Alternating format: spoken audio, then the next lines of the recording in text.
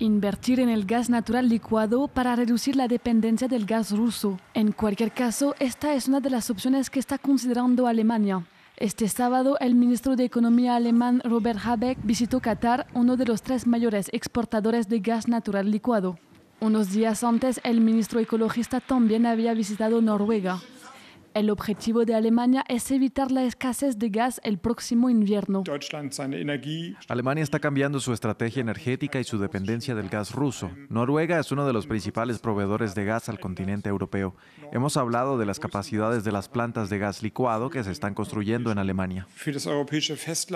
Desde hace varios días, el gobierno está multiplicando las iniciativas para sustituir el suministro de gas ruso, puesto bajo revisión por la guerra de Ucrania.